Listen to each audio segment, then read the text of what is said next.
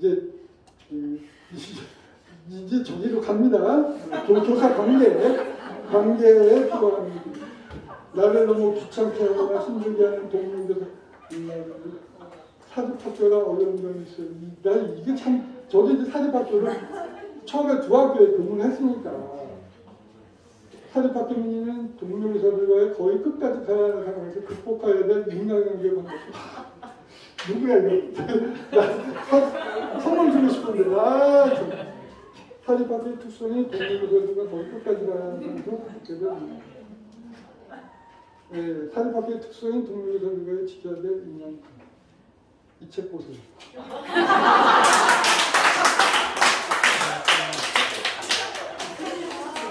날로 먹지 마. 날로 먹으면 안 돼. 음, 세상에 거절되는 장사가 어딨어. 이 책은 우리나라 최초의 갈등 해결학 박사학위를 받은 강형진 씨 책이에요.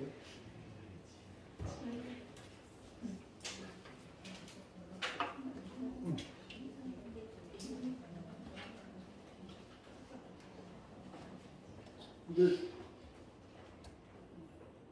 엉챙 소리만 그 이거 제가 두 가지만 소개해 드릴게요.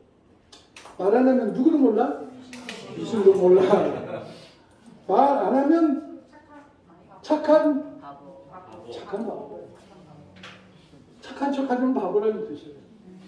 말 안 하면 그럼 어떻게 이게 아이메시지인데 이게 실은 애들하고 사이에서만 선생님들이 특히 중앙, 중3 가정 교과서에 뭐 교육과정에 나올 거예요. 아이메시지. 근데 이거는 애들만 중요한 게 아니라 우리나라 모든 국민이 밥 먹듯이 연습해야 돼요. 아침마다. 아침마다 애들한테 얘들아 자, 화 잘 내는 방법 다 같이 연습하겠습니다. 네가 뭐하니 내 마음은 뭐해 왜냐면 난 이렇게 그 영어로 왜 있냐 블라블라 아이들 블라블라 카우자이 블라블라 이게 아?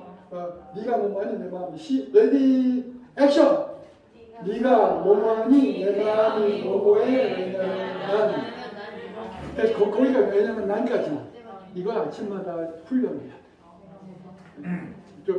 국제에 대한 맹세보다 더 중요합니다. 평화의 삼자어법이다. 그래서 친구한테 선생님 니네들 선생님한테도 화낼 수 있어. 선생님한테 씨발 그러지 마. 근데 선생님들은 선생님들은 발까지만 해도 꼭 몸자를 끼어들어.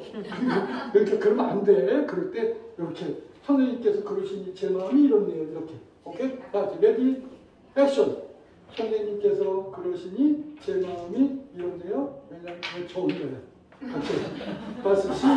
시, 시작. 선생님께서 그러시니 제 마음이 이렇네요.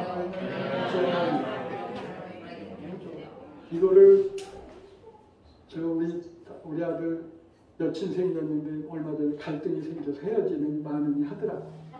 그래서 같이 맥주와 치맥하면서 너 또 열받았다며? 그럼 열받았을 때 열받았다고 얘기를 해야지. 열받았다고 화를 내는 게 아니라 열받았다고 화, 화가 난다고 말하는 거야.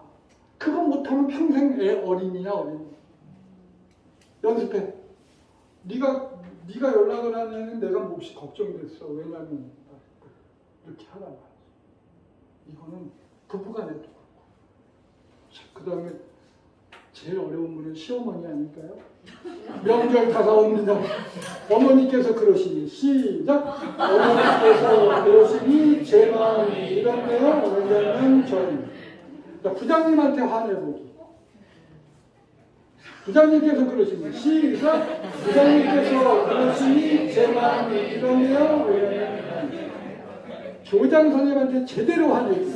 교장 선생님께서 그러시니 시작. 교장 선생님께서 그러시니 제 마음이 이러네요. 왜냐면 아 교감 선생님 메신저로 어제 그 창문 안 닫고 간반 다 이렇게 다 소문 내셔서 저 사실 많이 부끄럽고 그렇습니다. 다음부터 좀 개인적으로 알려주시면 안 될까요? 왜 이 말 못하냐? 꿍꿍을 할 거. 근데 집사람이 우리 어머니한테 한번 이거 쓰더라고. 자, 자기 반에서는 이거 맨날 해. 여기 붙여놨어. 네가 뭐 하지 왜냐면 이거 붙여놨어. 근데 엄마한테 못, 어머니한테 못하더니 어느 날 쓰더라고. 어머니 그 김치가 매운 걸 못 드시니까 그 매운 거를 백김치를 사다 드렸더니 이제 왜 김치가 하얗냐고 백김치가 하얗지 그 집사람이 그때 처음으로 시집 온지 몇십 년 만에 어머니께서 그렇게 말씀하시니까 제가 좀 속상하네요. 이 백김치 구하려고 수- 시장을 세 군데나 다녀왔거든요. 오. 저는 이제 긴장해가지고 아, 무슨 나나도 가르쳐 아유 그랬더니 어머니께서 처음 듣는 말이잖아. 눈이 커져. 근데 그 말을 들으면 어머니가 기분 나빠 별로 안 나빠.